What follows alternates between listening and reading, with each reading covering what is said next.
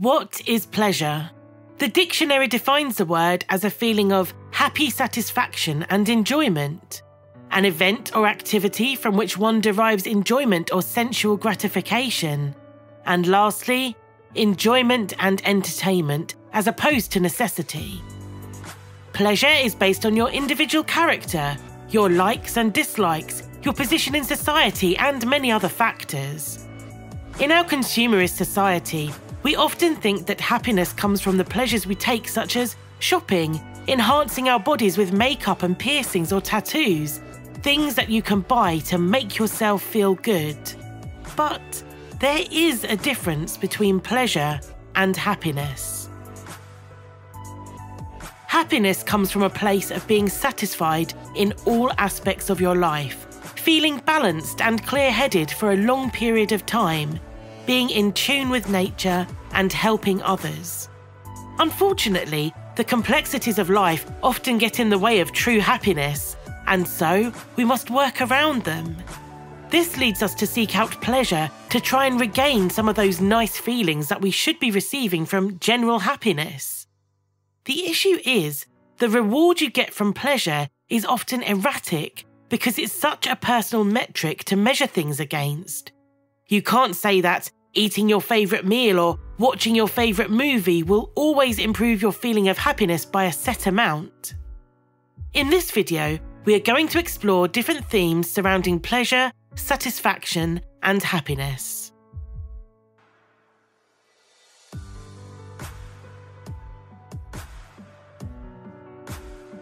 Every satisfaction he attains lays the seeds of some new desire, so that there is no end to the wishes of each individual will.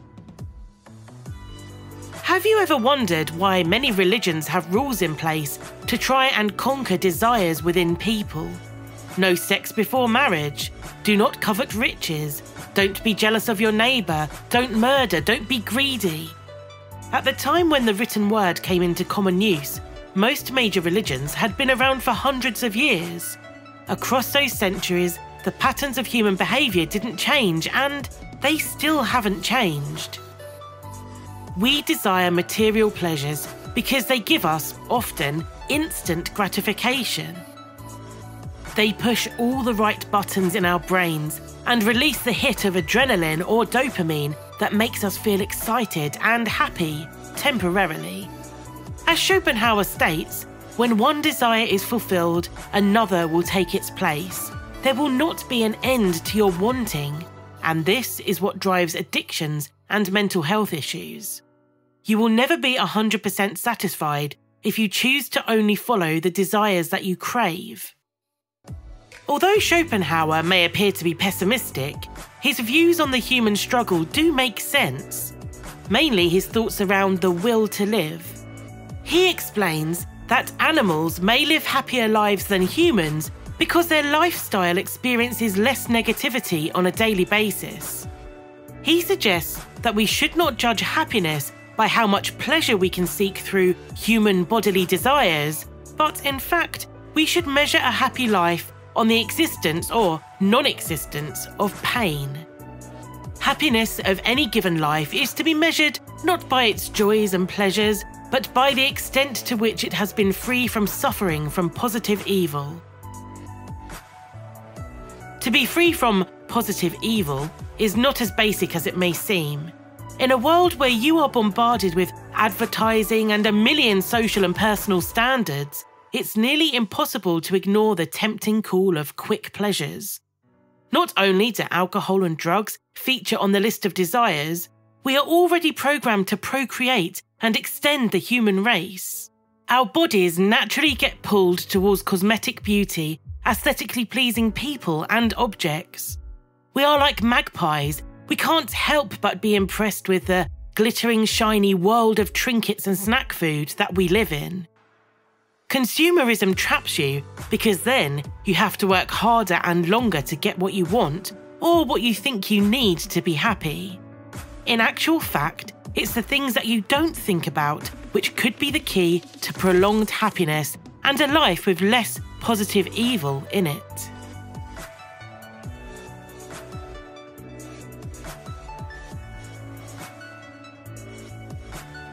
Because as teenagers and adults, we are constantly in a cycle of needing to do things for other people before we can obtain our own reward, we tend to self soothe the moments in between by purchasing things that are advertised to us or making impulsive decisions to go out and have a crazy time with our friends. Anything we can do to numb the underlying pain and fear of existence. Even if you're reading this thinking, I don't go clubbing or recklessly drink in bars, or I don't get fooled by advertising, I do what I want. Ask yourself honestly, what do you want? What do you want in your soul? And do you even know what true happiness is? These questions are not intended to upset you or cast out a cloud of depression. It's just highlighting the fact that most people, even spiritual people, are tempted by the desire for pleasure because the world in which we live in is geared to ignite many fires within you, many hopes and dreams.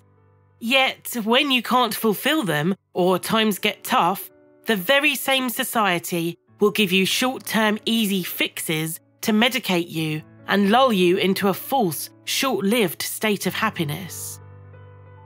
If you want to be truly happy, you need to work out what you want for yourself and then build on daily practices that will help you reach that destination. Mindset and being able to see the bigger picture will be your shield from societal pressure.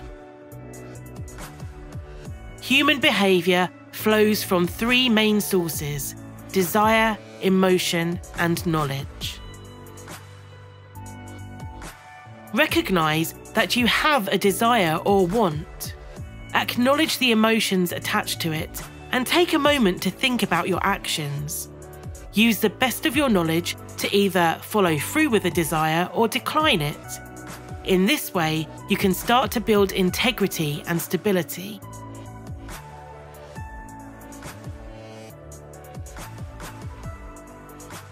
Buddhists tell us that the moment we start to think about something we want, that we desire, we create a feeling of debt within ourselves we suddenly feel that we are lacking a vital part of us, when moments before we were perfectly content. This feeling of longing and lament disturbs our daily rhythm of life, and things that once seemed fine or okay can start to agitate you or make you feel jealous, especially if one of the people you know has the exact same material object or opportunity that you are lusting after. The usual solution for this situation is that we simply get what we want. We want a new phone or a new pair of shoes, we buy them. If we want sexual gratification or to feel numb, we can achieve this with little or no effort. If we want something larger, say a better house or an expensive holiday, the desire is so strong that we will work overtime at our jobs or maybe even consider fraud as a means to get our heart's desire. We have to pay off the debt within us somehow. But do we want these things, or do we simply want the feeling of desire and painful longing to end? Consider this also. Once you have your new object or you have attained your new state of life, the pain will not stop, it will simply change. Suppose we came to possess a very expensive object. The minute that thing comes into our possession, our mind changes. Now, where can I keep it? If I leave it there, somebody might steal it. We worry ourselves into a state trying to find a place to keep it. And when did the mind change? It changed the minute we obtained that object. Suffering arose right then. No matter where we leave that object, we can't relax, so we're left with trouble. Whether sitting, walking, or lying down, we are lost in worry.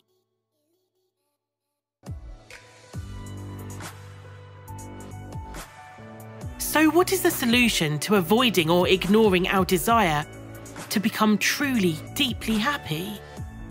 It seems that we are in a world that has a framework to fan the flames and encourages us to buy more and more and be woefully unhappy unless we follow the herd.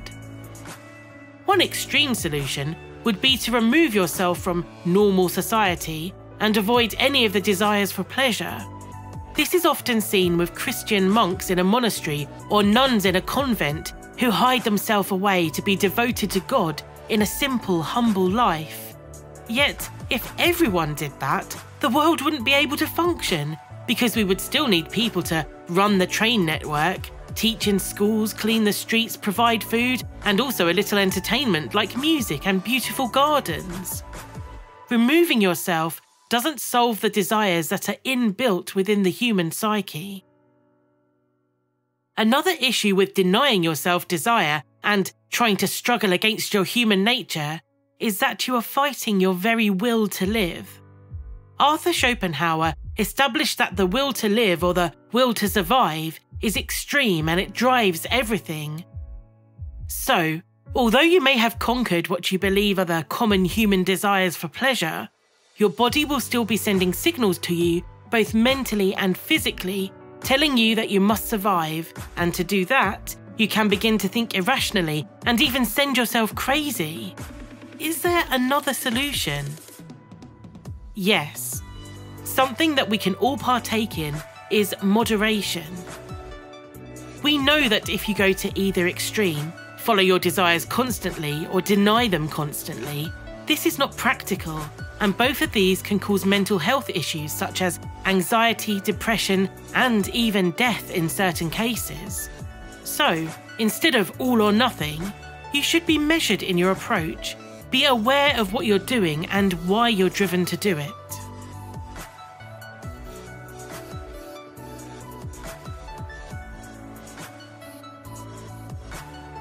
Epicureanism is based on the teaching of ancient Greek philosopher Epicurus. The core of his reasoning was that we need to work out what are our natural desires and what are unnatural. For example, wanting a nice, safe place to live is a natural desire. Seeking out good food and firm friendship is also natural. We are social creatures after all. These natural desires should be treated with moderation because although they are natural and feel essential, we can actually survive and exist with less. The worst desires, the ones we should monitor and try to avoid, are called vain desires. Extreme wealth, fame, and excessive power are neither natural or necessary. Following these means that you're excluding your fellow humans and wanting a selfish outcome above all others. This is more likely to cause you and the people around you harm. Greed, power, and manipulation are the traits of vain desires, and they serve no purpose. The wealth required by nature is limited and easy to procure, but the wealth required by vain ideals extends to infinity, meaning that you can easily be satisfied when it comes to natural or necessary desires like finding a good meal, getting a good night's sleep, enjoying a sunset on the beach. But when you seek something like fame, you will always be struggling and striving to reach what you feel is the pinnacle of fame. And then you will have to maintain that at a high personal cost.